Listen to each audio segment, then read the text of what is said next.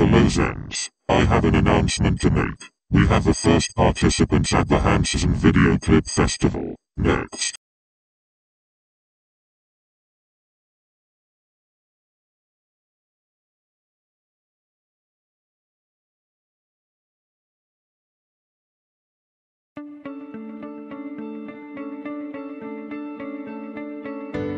너는 내 다시 뜬 햇빛 어린 시절 내 꿈들의 재림. 모르겠어 이 감정이 뭔지. 혹시 여기도 꿈속인 건지. 꿈은 사막의 푸른 신기루. 내 깊은 곳에 아프리오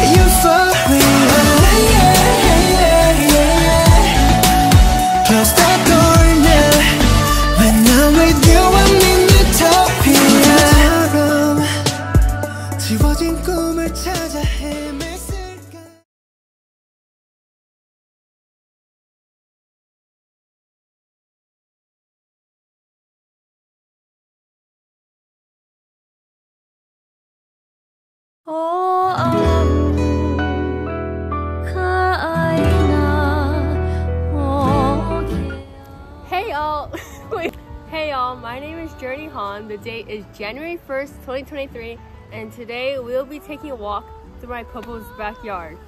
Let's go. It's like y'all, we're going this way. This is the backyard.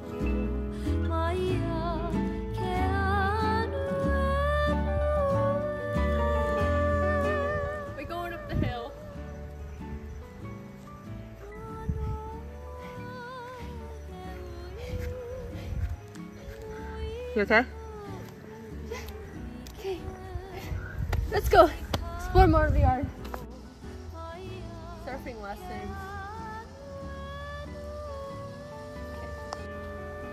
First stop is the stream.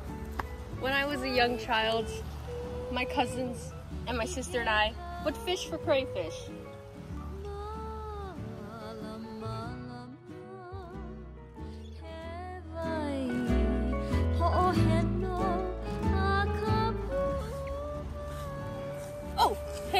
Didn't see you there. I was just admiring the top of the yard.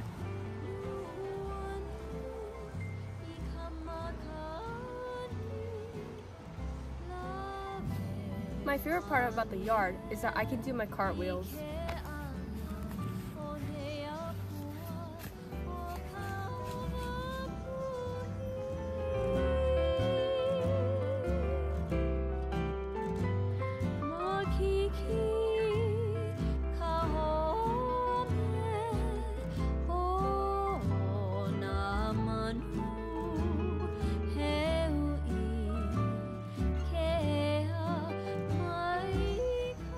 That's it for the tour, but there's one more stop.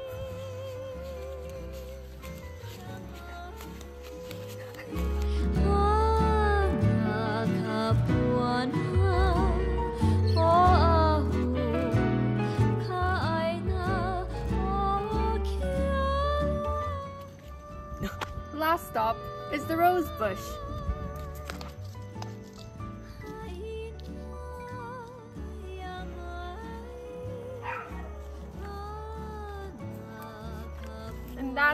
From me. Hope you enjoyed this tour. This is Journey Han from Honolulu, Hawaii, signing off. Okay.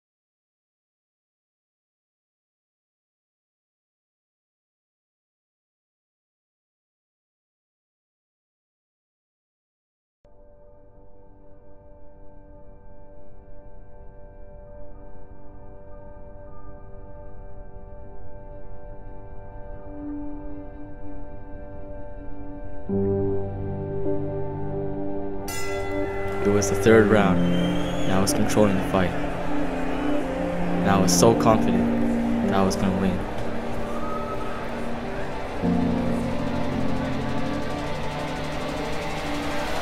Then, a liver shot. My whole body fell.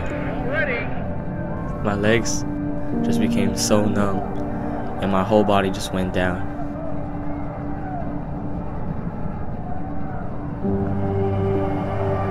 2018 was the hardest year of my life. Around the time of the boxing match, I also found that my mom was diagnosed with cancer. That was probably the lowest point of my life, seeing my mom in so much pain. But I remember what my mom told me that day. Someday in your life, life's gonna have you backed up against the ropes. It's gonna hit you hard in the liver, and you'll fall down.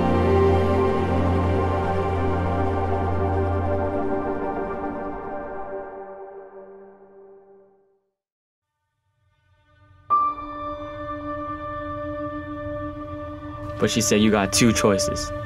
Either you stay down till the count goes out and lose, or you can choose to stand up and fight till the end.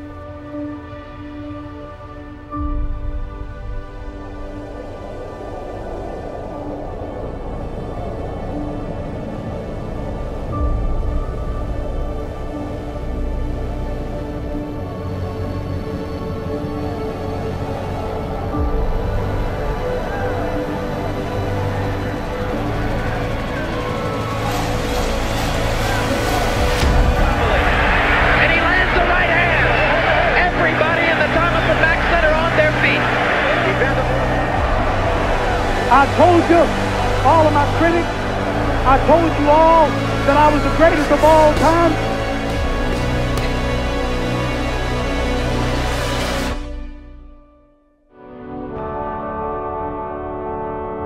My mom's the strongest fighter I know. She's the one who taught me how to be resilient. Inside the ring or out, ain't nothing wrong with going down. It's staying down that's wrong.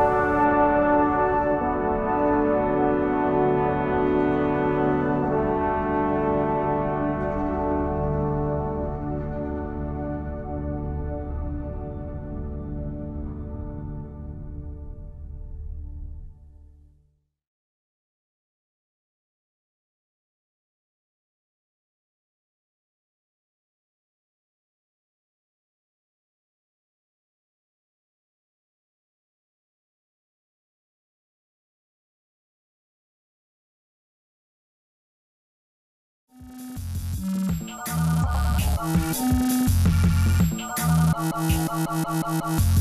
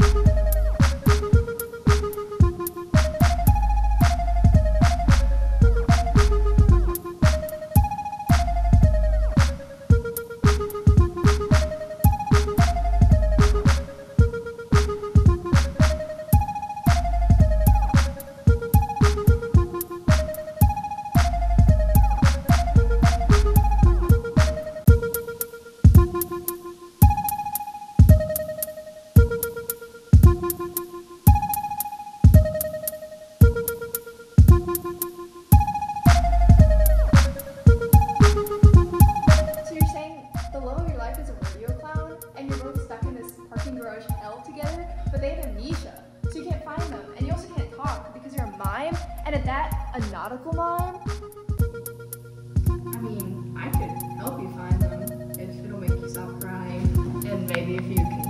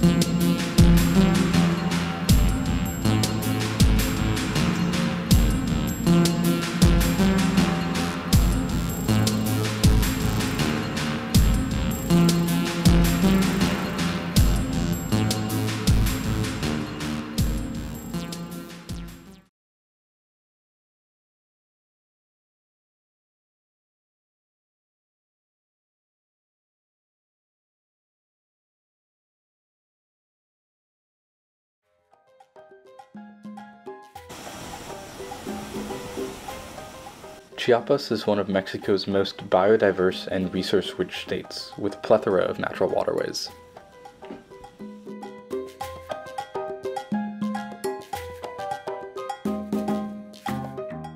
This summer, I worked with Cantaro Azul, a nonprofit based in Chiapas, in the city of San Cristobal de las Casas. Cantaro focuses on increasing indigenous communities' access to clean drinking water by developing independent water collection and treatment systems that are community run. With the abundant water in Chiapas and San Cristobal, why would an organization like Cantaro be necessary? This story, unlike the water, runs deep.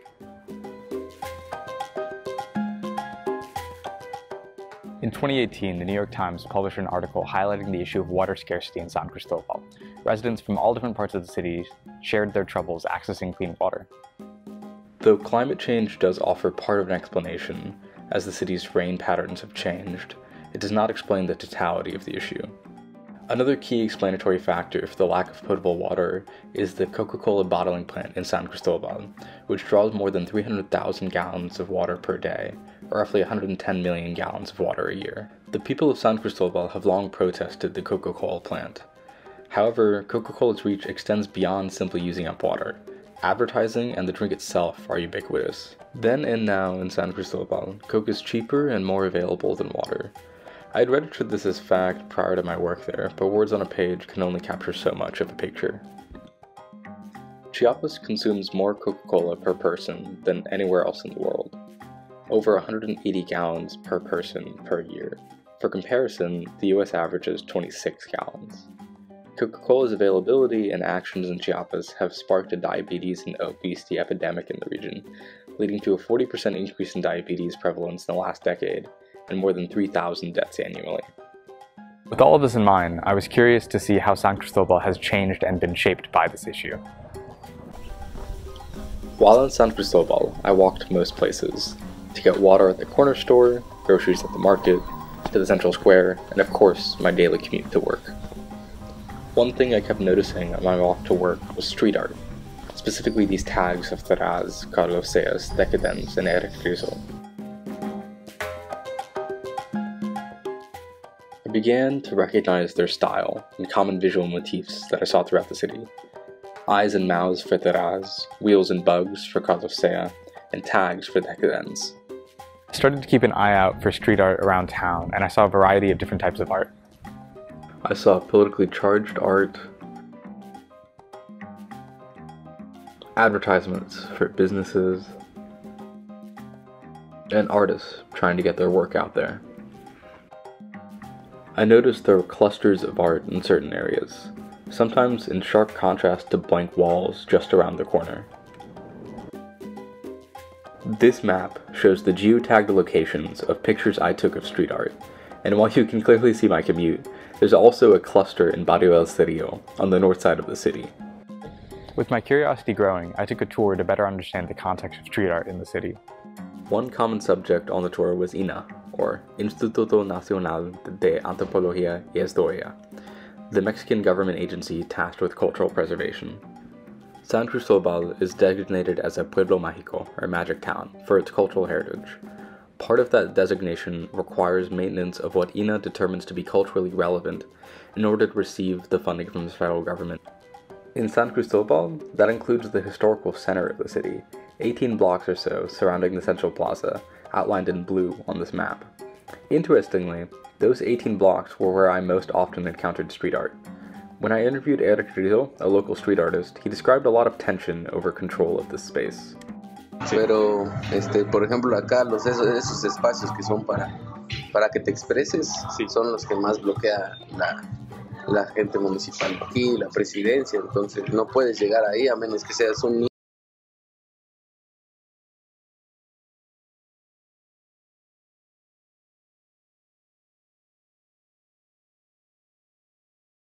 Do you miss home? Where is home to you? What is it like being away from home for so long? These are questions I always get as an international student. My name is Yuka, and if you don't know me, I'm a junior at Hanszen and I spent half of my life in China and half of my life in Japan. This winter, I visited Singapore, the place my parents moved to after I left Japan for Rice. This video is a combination of me enjoying the time I spent with my family and me learning about Singapore. When I first got to Singapore, I got a reverse culture shock.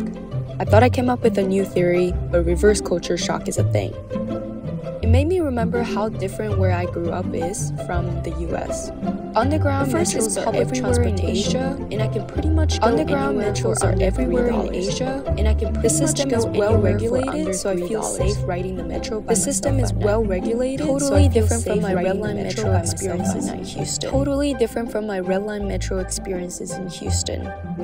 There is also no reason in the US to be outside at night since everything is closed other than bars and clubs, which people find uber safer and more convenient, anyways. Which brings me to the second. Additionally, difference. there's stuff a lot to of do stuff to night. do at night. I didn't say nightlife because I don't necessarily mean bars and clubs. In China and Singapore, there are many shopping malls with cool art installations and a variety of restaurants that are open until 10 p.m. Even after, many people walk around outside and the city is lively. Even though Singapore is geographically really small, about one third the size of Houston, there were lots to do and eat in the month I was there. These are all the things I grew up around, but after living in the US for three years, I totally forgot what Asia is like. Spending a month riding public transportation, enjoying late night walks, seeing Chinese advertisements, eating authentic Asian food, I realized I took aspects of my culture for granted. To answer my questions from the beginning, yes, I miss home, but where is home? Is it within the borders of China? Japan? When I went to Singapore, I felt at home in the bustling subway stations or on a calm evening walk.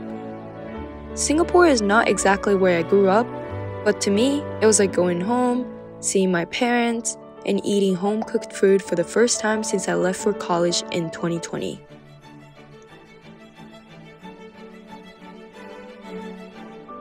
Being with my family reminded me that home wasn't a place, but a practice, a people. Connecting with these things reminded us where we came from. So don't discount eating familiar cuisines, seeing the ones who raised you, or singing along to a song in your native tongue. There's more home in those things than four walls and a roof.